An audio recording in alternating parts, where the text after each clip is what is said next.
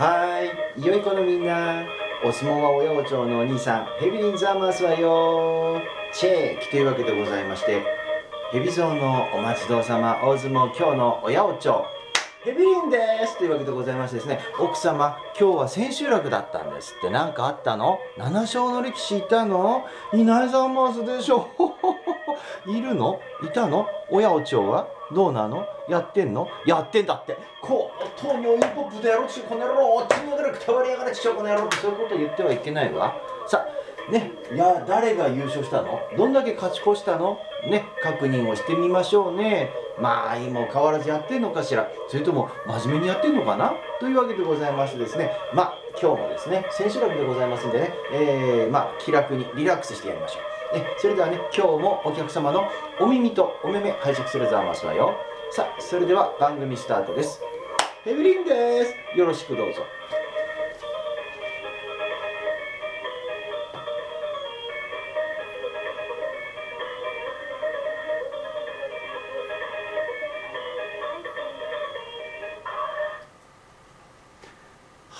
そういうわけでございまして改めましておこんにちはのヘビリンザーマスはねえー、っとですねまあ冒頭ですねご挨拶しておきましょう、えー、ちょっとねあのー、冒頭でねちょっと今日私のね間違いを訂正してね、えー、謝りましょうね。えー、っとですね一昨日というかまあコロコロね優勝力士をいろいろとお話しさせていただきましたが昨日の内容では、え、熱海富士君の方がねえー、優勝すると言っていましたが結論としましてはね結果論としましては箱北ちゃん、えー、貴景勝関大関貴景勝関が優勝したそうでございます。4度目の優勝だそうですね。よよかったですねファンの皆様ね。まあヘビリンは残念ながら今回相撲賭博のね暴力団の皆様とのねお話を伺っても外してしまいました。ね先に謝ってきましょうね。申し訳ございませんでした、えー、それではですねあそれでねあの誰か相撲賭博でお金かけて損したね方いらっしゃったらあの何でしょう？ヘビリンがね損害賠償し,、ね、しろっていうんであればこれするしかありませんのでね。まああの少額訴訟であればどうぞねあのおっしゃっていただければあ損害賠償ねしますけども。まあただ本来ならばですね違法賭博ですからねあのあんまり声を大きくしない方がよろしいざますわよというわけでございます。さあでそれではね本題に入りましょう。えー、それではですね今日は令和5年大相撲秋場所千秋楽。ね。えー、時は2023年9月24日の日曜日でございます。見えますかこれ？奥様見える？よろしいかしら？はい見えますね。えー、今日はですね十両の7勝力士がね千秋楽でなんと6人いたそうです。1234ね。はい、えー、じゃあ確認していきましょうね。天正鵬君7勝7敗水戸龍君7勝7敗天正鵬君が勝って8勝7敗でお勝ち越し。ね。はいね天正君の天正鵬君の師匠は白鵬ちゃん白鵬ちゃんはね水戸龍君とはね同胞の、ね、先輩後輩ということでね聞か聞かされてますけどまあ一応ね同胞の先輩後輩ということで言って聞かせりゃなんとかなるだろうというわけでございましてね水戸龍君もですね重量3枚目ということでこれ以上頑張って勝って幕の内に行ったらですね、え重量でコントロールができなくなって大変なことになる。重量のね皆さんがね生活できなくなるわというわけでございましてですね星のやり取りなんとかするために1枚ね7勝8敗で負けといてね1つ1枚落ちるぐらいならまあいいんじゃないの？というわけでございます。ねはい。調整親お町というわけでございます。はいそしてですね朝紅龍君、えー、7勝7敗に友風君10勝4敗で朝紅龍君勝って8勝7敗でお勝ち越し。ね。友風君勝ち越してます。ね、10番も勝ってます、もういいんじゃないですか、これ以上勝ったら嫌われますよ。というわけでございましてですね、えー、朝紅龍君に星をお貸しして勝ち越させておけば、えー、次回とか次次回とかですね、えー、自分のお部屋の仲間とかもですね、えー、お星のやり取りしやすくなるね、貸した借りたは当たり前、レンタル親をちょっとやるでございますね。ご利用は計画的に。なんとかうるさいですね。はいそしてですね大山美君7勝7回に、えー、ピンピンピンピン山本ちゃんが12勝2敗、えー、ピンピンちゃんが勝って13勝2敗となんと重量優勝。すごいですね。13勝で、えー、重量優勝って久しぶりですね。こんなにあの好成績なのは。いつも大体重量っていうのは大体11勝とか。まあ12勝で優勝したら大したもんだねってこう言われるわけですよ。13勝っていうのは随分ね周りの人に好かれてるのかなと。ねあの引き払い陰キャ。ね陰キャの山本君と言われてましたけどね。よかったんじゃないですか。おめでとうございます。ね大山美君はね坂本君ってなんか意外となんかねあんまりその物分かり悪いっていうか結構真面目に真剣勝負しちゃう人だって僕聞いてます。ですからね自分が7勝7敗でもね欲しがらない欲しがらないでやったら負けちゃったというなんか気の毒親お蝶でございます。ね。黙って借りときゃいいのにねお金出してこの人12勝2敗なんですからもう十分勝ってんですからね今更優勝なんかしたらかわいそうだっていうですねお話ありますけどまあそういう性格だから出し方ないですね。はい、えー、ではですね、えー、時颯君7勝7敗に北野若君8勝6敗、時颯君から8勝7敗お勝ち越しというわけでございましてですね、北野若君も勝ち越してますね、埼玉栄高校ですね。もうして時颯君は東京ね、農業大学ね、時津風部屋というのはどうもね東京農大のねあのそういう入門ラインというかねそういうところを持ってましてですね、えー、正代君とか豊山君とかですね、まあ、古くはですね内田勝夫ちゃんとかですね、えー、いろんな人が入ってますね。ですからまあ一つ足りない分は一つお借りしてですねみんなで8勝7敗で仲良くお勝ち越し。フレンドリー親おちょというわけでございます。ですね。はい、そしてですね、えー、ローガ君7勝7敗に大野里君12勝2敗、ローガ君勝って8勝7敗でお勝ち越し。ね、大野里君も勝ち越してます。12番も勝ってるんですね、新十両で。大したもんですよ。ね、12勝3敗、ね、来場所どうなるの？返すの？それとも借りっぱなし？買いっぱなし？大変ざんますわね、本当にね、日体大理研、ね、日体大理研頑張るぞ、頑張るぞ、こうなるわけざんますわね。はい、それではですね、まあ、ローガ君ってなんか、モンゴルみたいな感じしてますけど、実はね、出身ロシアだったというですね、大丈夫？って。あなたの母国なんか世界中から叩かれてるわよってわけでございましてですね、まあ、それでもねお借りしての親をちょというわけでございました。はい。えーとですね、えー、重量の7勝力者6人いたうち4人が成立で66.6%割は5番あったうち4番成立で80%お客様いかがですか？66.6%の力士が勝ち越す。5番中4番の割が勝ち越しを成立する。ね。これまあ何度も言いますけど統計学上ありえないですね。こんな数字ね。国税調査でこんなことやったら大変ですよ。国民怒り狂いますね。はい。まあそういうわけでございまして、まあ、66.6%あるということは力士間同士のやり取りがある、ね。え、そして、えー、割でこのような形になっているという以上は審判部の設定設定と言ったらおかしいですね。審判部の割で割っていうのかな。割の調整に、えー、作法なんでしょうね。手心があるというふうに見てよろしいんじゃないですか？というふうに私は見ています。お客様いかがでしょうか？はいその次ですね、えー、幕の内です。幕の内は今日は7勝力士が5人いましたね。割が3番あったそうでございます。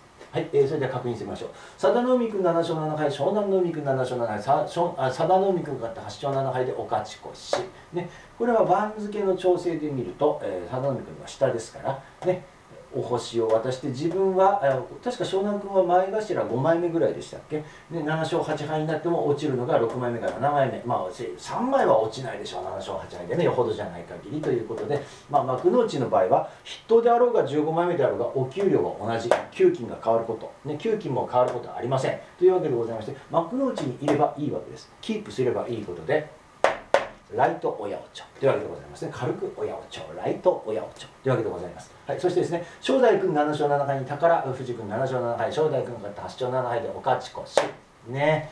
まあまあまあというわけでございましてですね宝富士君も大丈夫なのかなここで負け越してってなりましたけども。まあバカボン君のね、まあ、バカボン君がですねこれで優勝したらきっとこっちで転ぶってあったんだけど先に転んじゃってましたからね。これはね、まあ、どういう展開かとなるとですねやはりこの東農大のね OB の人たちがお金をいっぱい出していた。あとですね、まあ、他にもですねその伊勢ヶ浜部屋系とかですねあとあのあれでございます。えー、近畿大利権ということも絡んでまして浅野山君をですねもう一丁勝たしておかなきゃならないということで、まあ、この辺が近畿大の星の調整が入ったんだろうなというふうに見ておりますね。正代君が勝って8勝7敗で、まあ、お勝ち越し、まあ、この人はね正代君は東農大ですよ。宝富士君がなぜ負けたかというのを今お話ししています。ね。軽く親お町の東農大親お町というわけでございます。はい、そしてですね、おいっ子ちゃん7勝7敗に北西北君10勝4敗、おいっ子ちゃん勝って8勝7敗でお勝ち越し。ね、危なかったですね。角番になりそうでした。ね、まあ簡単なことですね。おじさんがいて白鵬ちゃんがいて同じね同胞であればね多少のね代理戦争と言われていてもまあそこはね自分たちの親親玉の方がですねお金を引っ張るのであればやはりお互いにウィンウィンの関係でいればお金の入ってくる形は変わらないというわけでございましてですね。まあ祖国の方にですね送金するには、え、香港上海銀行を通してマネーロンダリングされていくわけでございますけれども、えー、まあ勝ち越していないと、ね、お給金。給料はもらえるけどお給金が出ないという形になりますから給金もらうにはとりあえず8番でも10番でも15番でも給金が出ますからね勝ち越した以上は。というわけでございまして調整に入った。ね北西方君はもう10番勝ってますからいいんです。っていうわけでございます。これ以上欲動しく勝つんじゃないっていうのがこの世界の掟でございます。ね、ですからほどほどに勝ってほどほどにみんなで幸せに。ね。ね。もう相撲社会主義。こういうふうにやってるわけでございますけどもね、まあ、勝って勝ち越し親をちょというわけでございまして、はい。えー、幕の内は7勝が5人いたうち3人が成立したんで60%。割は3番あったうち3番が成立しまして100%。ねえ、お客様、どうです？この数字だけ見て。ちょっと首かしげますね。はい、そして合計でいきましょう。合計はですね、11人いました、7勝が。11人いたうち7人が成立しましたので63.6%。割は8番あったうち7番が成立ですから87.5%となりました。お客様いかがですか？ね今ね私もね本当に息が詰まって真相になりましたけどもこの数字ねこの数値の高さまあ昨日もそうですね。まあ途中でね、えー、何ですか？こうドバッと出してギュッと締めてまた最後にこうドバッと出していくというですね。このやり方はもう毎場所毎場所マンネリじゃないの？って言われています。まあ事実マンネリなんです。そしてヘビリンが話してることは面白くない。だって同じことばっかり話してもいいですか？ヘビリン同じことばっかり話して確かに同じです。だってこの人たちやってることが同じなんですから。マンネリのことを話してる。どうしても私はマンネリになります。もしヘビリンがもう少し違うこと話してたら違うこと話そうとしますけどもでもやってることマンネリですからね。どうなんですか？言い回しを変えてもですね結論は一緒というわけでございまして所詮はこの人たちのやってることはお芝居ね。というわけでございます。はい、そしてですね、えー、優勝決定戦が箱福ちゃんとバカボン君がやって、えー、これはですねあのあれですね箱福ちゃんが勝って優勝。ね勝ちました。優勝が4回目だそうです。すごいですね。立派ですね。4回目だそうです。4回目。ね。えー、何ですか？うんとバガボン君が本割で浅野山君に負けました。そうですね。まあこれ近畿代理店であったそうですね。この人が勝った分だけですね。その分あの宝富士君が負けちゃったということがありますね。で箱福ちゃんは、えー、大栄翔君とやって、えー、勝って、えー、11勝4敗、えー、ですね。これ11勝4敗で勝ったそうですね。11勝4敗。ね11勝4敗で勝ったそうです。すごいですね。十両の勝ち星よりも少ない勝ち星だった。ね。えまあ、話も出まして大栄翔君とかやってこっち箱福ちゃんが勝って11勝4敗と10勝5敗にして星を並べずにあえて割って優勝決定戦に行ってバカボンちゃんとやって勝ったということで。まあ堺合助会随分一生懸命頑張ってもうあの自分たちのね星をね、えー、一つ損をしてでも箱福ちゃんを勝たせなくてはいけないというこの何ですか、えー、埼玉堺高校の相撲部の利権。学校というのは私立学校というのはある種教育ビジネスですからね。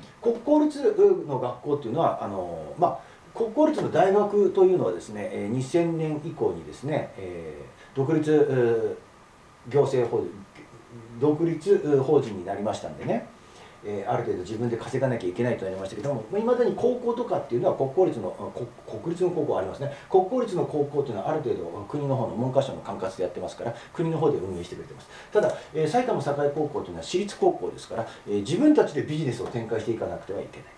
え、まあ、私立高校の、まあ、よくある手具っていうよくある方法っていうのはですねあの野球強くする、まあ、野球にも限らずスポーツを強くして名前を売って生徒を集めてその中から優秀な生徒を作って、えー、有名な大学にえ合格進学をさせてその学校の進学率を向上させて、えうちの学校は優秀ですよという形で、え何でしょうね宣伝をしていく。そうするとまた生徒が集まってくる。なそしてまた繰り返しながら、えー、宣伝をしていく上で何かしら得意なその学校の得意な分野のスポーツを伸ばしていくというやり方。え、堺高校さんというところは相撲が強いんですね。ですから相撲をやっていく、まあ、野球もありねサッカーもあり。あと何でしょうねウィンタースポーツだと何ですかスキーだとかね。スキージャンプなんてのも一時北海道の高校で随分強い高校ありましたよね。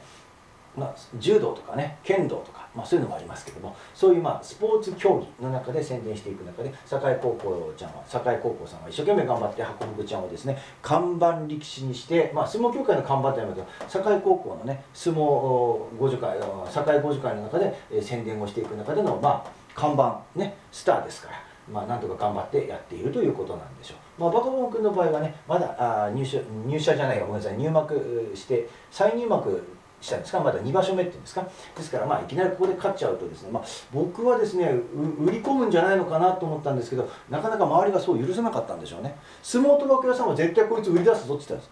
相撲賭博屋さんのは絶対売り出すって。箱口はもう今更出てきてもってもです。ね相撲賭博屋さんが外しましたね。今頃大変なんじゃないですか？大丈夫ですか？相撲賭博屋さんね。もうおかげでヘビリンも外してね。まあお客様に叱られるのかしら？まあ叱られるのか怒られるのかしら？どつかれるのかしら分かりませんけども。まあ今場所はちょっと外しました。思いっきり。まあただこの2人で来るんじゃないのかなって言ってましたけども最後の最後でヘビリン外したというわけでございましてですね。笑って、えー、笑われるのがオチなのかなと思っています。久しぶりに外しましたね。5場所ぶりぐらいに外したんですか？ヘビリンもバカですね。ヘビリンと本当にねもう本当当たらない当たらなくなりました。これから先も当たらなくなるかもしれません。まあそれまでポコポコ当ててましたけども。先場所当てたけど今場所当たらなかったというわけでございましてですね。まあごめんなさい。許してねというわけでございます。でそういうわけでございまして箱福ちゃんが勝って11勝4敗で優勝。ただどうなんですか？よくね大関のやつらが優勝すると必ず次の場所は綱取りだなんて勝手に言い出す横綱のあの寄生虫度もありますけど11勝の優勝でなかなか次は綱取りはさせられないんじゃないですか？甘いとかっていうんじゃないですか？まあそこは白福ちゃんかわいそうですね。まあ自分のね最初の師匠が相撲協会に嫌われてる方ですからね。貴乃花なんですか？花田浩二。花田勝氏ななんて言ってますけどね。そういう人が嫌われていますからなかなか綱に上げてもらえないとなるかもしれませんね。さあそれではですね、えー、今日は何を見るかとなりますとですねこの後です。まああの何ですか？普通はね明日ありますけど今日はねあのいつも恒例のごとくモンゴルちゃんたちの星の感情を見てみましょう。はいこうなってますというわけでございましてですね、えー、見えますか？見えますか？ちっちゃくてごめんなさいね。えー、それではですねモンゴルちゃんたちのですね幕の内力士と重量力士の成績と勝ち点負け点とそこから差し引いていくものを確認しましょうね、はい。え、霧島君9勝6敗で勝ち点3プラス3、え、おいっこちゃん8勝7敗で勝ち点プラス1、えー、ワッシー君2勝13敗で、負け点マイナス11北西方君が10勝5敗で勝ち点プラス5、えー、千代翔馬君が3勝12敗で負け点マイナス9、えー、大翔鵬君が3勝12敗で負け点マイナス9となりました。えー、そして次重量です。ね、義弟ちゃん、玉義弟ちゃんが4勝11敗で負け点マイナス7。えー、水戸龍君が7勝8敗でマイナス負け点マイナス1。えー、そして大正馬君が8勝7敗で勝ち点プラス1。ねえー、そして東龍君が3勝12敗で負け点マイナス9となりました。さあ、ここで、えー、まず重量の方から見てみましょう。ね、マイナス7マイナス1プラス1マイナス9となりますとここのプラプラス1マイナス1でプラマイ0えそしてマイナス9とマイナス7を足すとはい、マイナス16ということになります。まずここで見ておきましょうね。はい、そして幕の内です。まず大関はちょっと一回外しておきます。3と1のプラス4はちょっと外しておきます。いいですね。ワッシー君がマイナス11というふうにやっていきますと、マイナス1、マイナス9、マイナス9でマイナス29になりますね。そして、えー、北西王君のプラス5でやってもマイナス24です。マイナス24でここの大関陣たちのプラス4を足したところでマイナス20マイナス20とマイナス16で合計マイナス36っていうもう大出血っていうかもう血が止まらない状態になってますね。となるとこれどうなるかというと今までですね大体あのプラマイ3とか4とか多い時でプラマあプラマイ6ぐらいで次の場所みんなで頑張ればね、貸したり返したりってやつですよ。なったんです。貸したり返したりなったんです。今場所このマイナス36ってちなみに先場所でプラマイゼロになってます。お客さんも覚えてますか、まあ、あの初めて見た方何言ってんだこいつこんなもん見ててな何計算してんだこのバカってなりますけどもこれもですね後々貴重なですねあの親お帳のあの計算方式のですねクイック親お帳識別法の中のこれはあの資料材料の一つになるんですけどもね、まあ、もしそれを詳しく教えたいという方はおコメント言ってどうぞ。ヘビにちゃんと教えますよ、えー、まあいつもねずっと最初から来ていただいてるお客様だとまあまあこれ言っていることが多分ご理解いただけるんで私もこれを話してるんですけどもね。まあマイナス36になんかなったことないですよね。じゃあこれマイナス36になったらどうなるのってなるんですけども来場所以降ちょっとしんどくなるんじゃないですか。っていうか今度ここまで大きく負けを進めておくと今度買いある意味買いやすくなりますよね。だって相手に貸してるんですからマイナスってことは。プラスになっちゃってるってことは相手から借りてるんです。いいですね。相手から借りてるってことは返さなきゃいけないんです。大変ですよね返すのって。ねえー、皆さんそうですよね。借金したら返さなきゃならない。住宅ローンだって返さなきゃならない。毎月毎月大変だってなるわけです。よですけども36これだけ貸してるということは今度後々徐々に返ってくるって計算になるんです。さあそしたらですねこの36というこの相手に貸してる分をどこかで返してもらえるという非常にウハウハな状態になりますけどもじゃあ誰が返してもらえるのってなるとこう見ているとどうですか？この大関陣の2人がもしかしたら横綱昇進がかかった時に一気にこれが爆発するんじゃないですかというふうに見ます。またはまだここに名前が出てこない鳥的連中での、えー、モンゴルちゃんの期待の人いるのかもしれませんね。お客さんも調べ、えー、遊ばせっていうわけでございます。そういう人たちの中にこの36点を使ってマイナス36点を使って売り出そうとしていることが考えられることもあります。よろしいですね、まあ、そういう部分を確認しながら見ていくとああなるほど。まあ、に相撲というのは非常に政治家が絡んでいる、まあ、事業事業というか、まあ、見せ物興行の一つですから誰かかしらが押されてくる誰か彼かを押してくるというふうな見方をしていただくといかがでしょうか、まあ、こういう形になっています。マイナス36これ覚えておいてください。非常に大きくなります。多分次の場所次の次の場所そして来年の3月場所。でまあ、ちなみに来年の3月場所でヘビリンはこの配信が終わります。なぜかというとヘビリンアメリカに、えー、転任するからです。お仕事お仕事でね。ですからそれ以降もお客様もし興味があるんであれば今度はご自分でね計算表を立てて公式を入れてねヘビリンが教えてる公式を入れてやってみるとああの時言っていた30マイナス36っていうのがこういう形で返ってきているな。だから今度はみんな勝ち越してるぞ。というふうに見ていただくとあああの時ヘビリンが言っていたことはまんざら嘘ではなかったんだね。という形になると感じています。さあそしてですね、はい、ちょっと話は戻りますよ。この人たちこの幕の内力士たちの成績評価曲線を見ておきましょ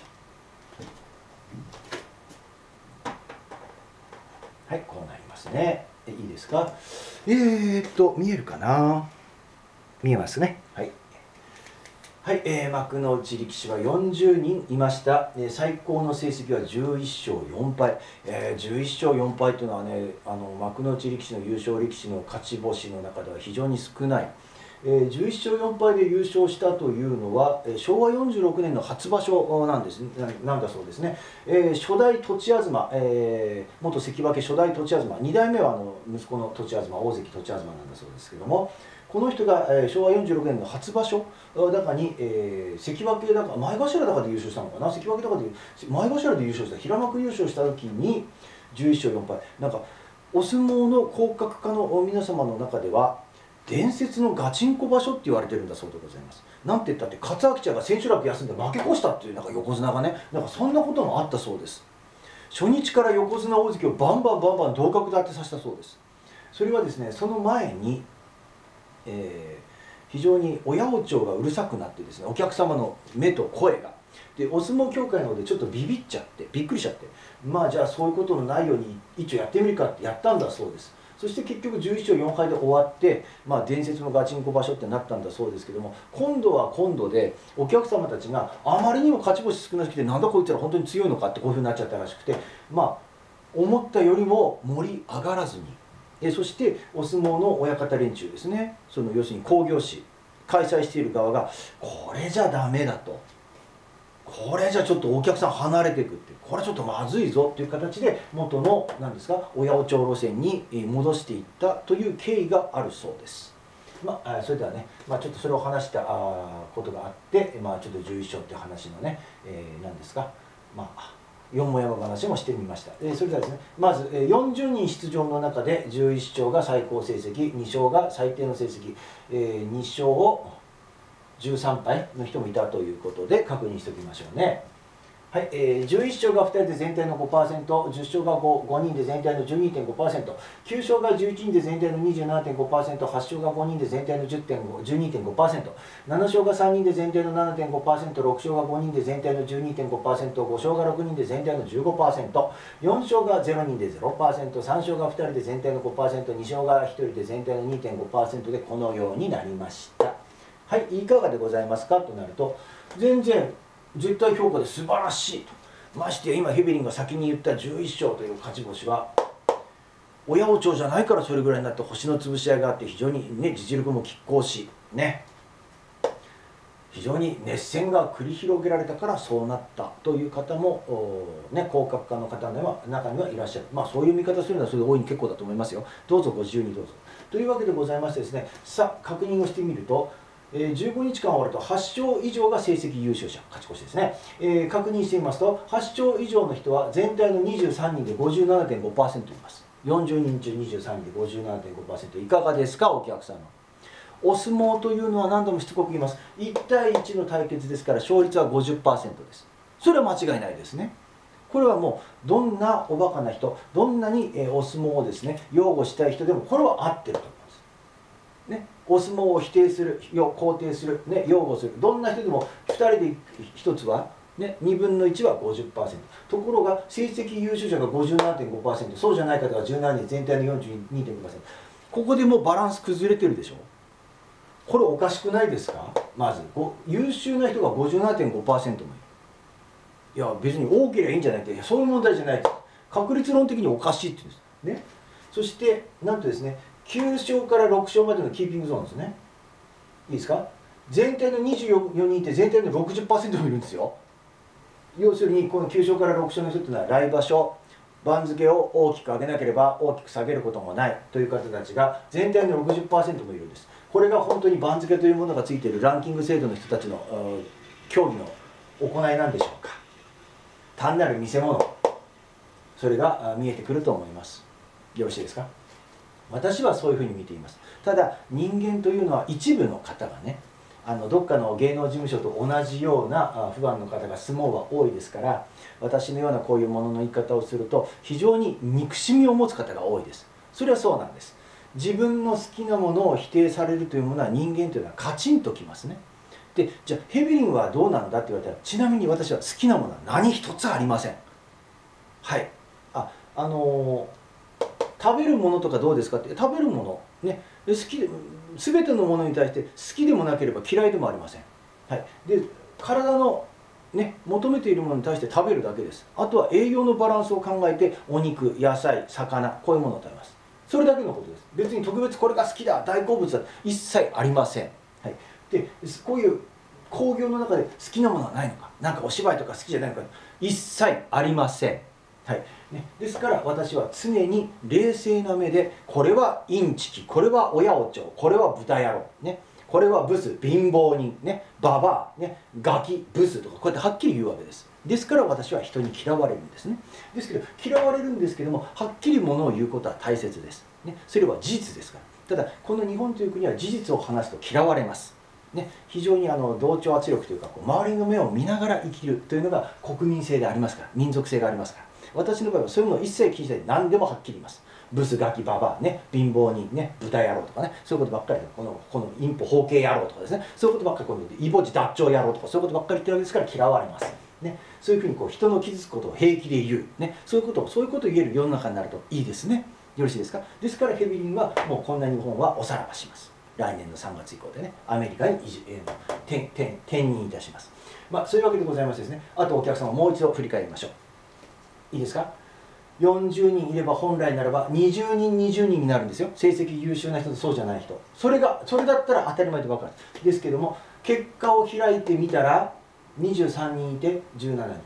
57.5%7.5% ちょっと多いぞというふうに見ています。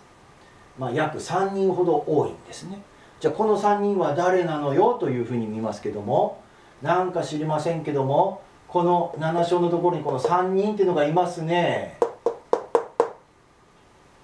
調整してんじゃないの？というふうに見て例えばご自分でその力士を確認しそしてご自分で調査してみる取材してみる、ね、自分の足を使う、ね、足を使って取材することはとても大事です。そして取材する中で自分の頭を使うことになります。ね、目を使う耳を使う、ねまあ、匂いをかぐって別にですね犬やワンちゃんじゃありませんから匂い嗅ぎませんけどもね。そしてこうやって言葉をしゃべる。相手に対して言葉をしゃべる。取材で大事ですね。これどうなんですかって聞かなきゃいけませんからね。そういうふうに使って体を使う。足を使う。そして取材をする。頭を使う、ね、大切なことだと思います。このようにヘビリンはヒントを皆様に与えました、えー、ですからあとはですね、えー、ご自分で取材をするなりは自由です。どうぞ頑張ってみてください、えー、こんなところですかねお話の内容というのは、まあ、千秋楽はこんなもんでしょう。まあ、それとですね、お話は繰り返しますけども、これだけの確率、数字が出てしまった上で、いかがなものかとということでございます。まあ、優勝力士はちょっとね、ヘビリン今場所外してしまいましたんで、ここはね、素直に謝らなくてはいけません。申し訳ございませんでした。えただですね、えー、ピタッと当てたのはここですね。おいっ子ちゃん、おいっ子ちゃんと北西宝君がやって、おいっ子ちゃんが勝ちました。この負けた分の北西方君の負けた星はなんと重量の天正方君の勝ち越しの星につながっていた。これは昨日からのですねえブログ等の記事で書かせていただいてます。これは当たりましたね。この辺はヘビには分かります、うん、ただちょっと優勝力士はねギリギリで外しましたね。まあなかなか難しいところなんじゃないでしょうか。ね、お客様当たりましたか？というわけでございましてですね、まあ、講義はこの辺にしておきましょう、えー、それでは最後にご挨拶しておきましょうねはい姉ちゃん見てるか？さっきはどうもありがとうねまた後で連絡しますえー、川原さんおコメントありがとうございます。今場所もどうもお付き合いありがとうございました。今場所ありがとうございましたね。当たりましたか？外れましたか？なんか川原さん当たったみたいな感じしますね。当たったんでしょ？よかったですね。まあ、あの、箱福ちゃんが優勝したということでね、えー、お喜びになられて晩ご飯が美味しいのかしら。えー、まだですね今日は東京非常に涼しかったですけどもそちらいかがですか？暑いですか？来週はねなんか晴れる日が続くそうです。ちょっと気温が上がるかもしれません。ねえー、ちょっとね夏の疲れがどっとくる季節です、えー、体よく休めてしっかりご飯を食べてね、えー、お過ごしください。どうぞお体ご自愛くださいね。はいそういうわけでございました。ありがとうございました。その次ですね。松千山様。おコメントありがとうございます。今場所もどうもお付き合いありがとうございました。盛り上げていただきましたこと感謝申し上げます。どうもありがとうございます。えー、ピンピンちゃんですね、あの注目はあの幕下のですね、6勝1敗の力士たちが、えー、なんと優勝決定戦をやった。すごいですね。トーナメントですもんね。トーナメントやったんですね。普通あの巴戦って言って1人に当ててって2回連続して勝ったらあなたの勝ちって言うんですけど6人もそこらもいたらもうトーナメントやるしかないってことであれ珍しかったですね。びっくりしましたね。まあそしてなんですが仁君だかっていうのが人の名前みたいなしこ名の人が優勝したってことで。来場所はお関取になるのかしら、ね、どうなるんでしょうね、私、詳しく知りませんけども、どんな方なのか、ご存知でしたら教えてください。え松山様ね、本当に今場所どうもありがとうございました。ねえー、また場所中も、場所後の間もですね、えー、何か貴重なお話があったら、ぜひご教示ください。ヘビリン楽しみに待っています。お付き合いどうもありがとうございました。感謝申し上げます。えー、その次ですね、森子先生、おコメントありがとうございました。え今場所もどうも、えいつもいつも、えーおコメントでですね場所あの私の方のこの場所をですね盛り上げていただきますことを感謝申し上げます。どうですか森子先生当たりましたか？野球と野球賭博じゃないわ。相撲賭博当たりました？外れました？ダメですよ。こんなものかけてたらね大変ですよ、ね、ピリピリするようなヤクザとのね賭博なんてやってると本当にあの心証潰しますよ。というわけでございましていけませんよ。当たりましたか？外れましたか？この辺はいかがですか？ね。こんなものこんなもんなんですよ。この数字が出てるってことは。それとあのーあれですねこの人たち親おちを隠さなくなりましたね最近。もうお客さん分かってみたいなところあるんでしょうね。だってここまで具体的にこういう数字を出してそれでも知らんぷりしてるってことはまあ誰かが助けてくれる。まあ政府のね、えー、内閣府とか文科省とかが助けてくれてるからまあ別にいいんじゃないのってありますけども。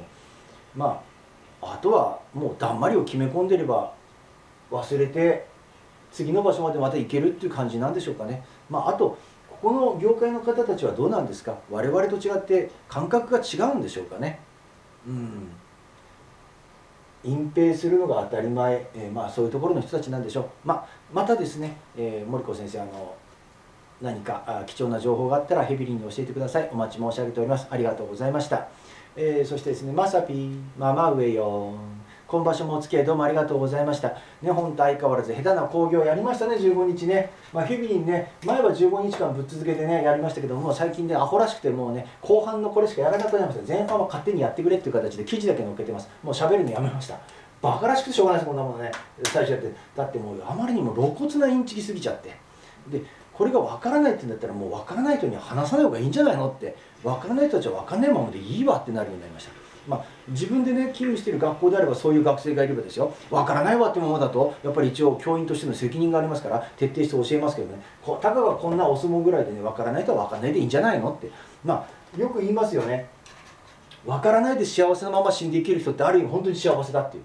まあ、ですから2011年に、え、親王朝がばれましたけどもそれ以前に、え、お相撲が好きで死んでいった方、ね、幸せだったんじゃないですか。相撲真剣勝負だと思って見てたんですから。プロレスも真剣勝負だと見てたって死んだ方いますけどそれ幸せですよね。でもあの例えばですね泉先生のうちの実家なんていうのは病院やってるんですよ。ねあの200年からねアホみたいにねやってるんです。であそこにはねもともとやっぱりプロレスだとかねあのそういうこう見せ物工業の人たちが怪我をしたら来ていた。でねあのやっぱりそういうところのお医者さんやってると中身が分かるわけですよね。例えば怪我してきたらどうしてそんな怪我したんですかって言ったらやっぱり患者さんはね事情を話すわけですよ。こうこうこうでって。そんなそんなことっていやいやこれね例えば話し合ってあったんだけどもえちょっとねその台本が狂ってこうなって怪我しちゃったんです。先生見てくださいって。じゃあレントゲン取りましょうとかこうなるんだそうです。まあですからねあまり、裏側を知るってことはただいいのかどうか分かりませんけども私はねそこのうちの娘を嫁にもらってえー、話を聞いているうちになんだそうだったのかとんでもないことやってんだあいつらって思ったわけでございますから。まあそういうことを知って、えー、幸せな人もいれば、え、そういうことを知って知らないで幸せな方もいるということが事実だと思います。まあ何でもねそうですけど好きなものを否定されるのはねあんまり面白くないんでしょうから。まあそんなところじゃないですか人間なんてのはねまああのまさぴにねまた何かあったら貴重な情報あったら教えてくださいね。待ってますよ。というわけでございます。えー、あとですね、他にも多くのコメントを賜りました。誠にありがとうございます。えー、今場所ですね、無事終わりました。ね、またあ来場所、私できるかな、11月ですよね。11月、まあ1月はもうちょっとね、学生の卒論、卒業研究でバタバタしますんでできなくなるかもしれませんけど、11月はまだこんなバカなことできるかもしれません。ね、またお客様の中でまだ続けてほしいなっていうんであれば挙手もいただいてこうコメントいただいてもいいですしもうやらなくていいわってお前も思っていい加減さっさとアメリカ行きやがれってなれば、まあ、そうそういうコメントいただいてもいいと思います。ね、この件に関してはどんどんどんどんねおコメントいただければヘビにもね、えー、何でしょうご期待にお答えできる範囲の中でね私もそんなにあの何でもできるスーパーマンじゃありませんから、えー、できることはできるできないことはできないという形で、ご期待に応えられることは答えていきたいと思いますのでまた貴重なおコメントご意見ね、ご希望あれば、ね、どんどんお寄せください。お待ち申し上げております。それではエンディングに入りましょうね。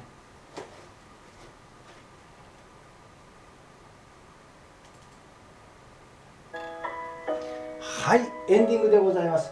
花田勝氏がまあ私の弟子が優勝してしまって優勝4回目。私は優勝22回いかがなものかとってまあそれ別に構わないんですね 4, 4回だろうか22回だろうか構いませんけども。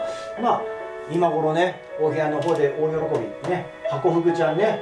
まあ何ですか？フグじゃなくてタイ買ってね。タイのお頭こんな風に持って写真撮ってんじゃないですかね。というわけでございまして。まあまあまあ工業見せ物工業終わりました。海外にとってはこれこれ生活の糧ですからね。アホなことばっかり言ってられないってありますけども。まあもう私も何年もこれやってますけどもうあまり言うことありません。だって肋骨すぎますもん。もうだってこの数字見ていただいたら分かると思いますけどもこれで真剣勝負だって言ったら本当に真剣勝負している人たちは怒りますよ。怒るというか失礼ですよそれは。こんなに成立するわけないじゃないですか物事。統計学科まで。じゃあ必ず言いますね。そういうもんじゃない数字じゃない物理じゃないんだ。いいですか？お相撲さんがぶつかってぶつかってベクトル発生しますから物理なんですよ。それと結果が出た数字っていうのはこれがこれが事実ですよ。ね。それでね数字じゃないんだ。バカ言ってんじゃない。数字です。じゃあ皆様ね例えば勤務してる会社とかあります。全ての成績があります。それは数値化されますでしょ。数値化されないであなたの気合だけを評価するってそんな組織ないですよ。結果があって結論があって初めて評価されるんです。ね、そうじゃなければ物事は決断できません。というわけでございまして今場所もどうもありがとうございました。お付き合いありがとうございました。また来場所殺されなければお会いいたしましょうね。それでは皆様お元気でごきげんよう。さようなら。ヘビリンでした。ヘビリンです。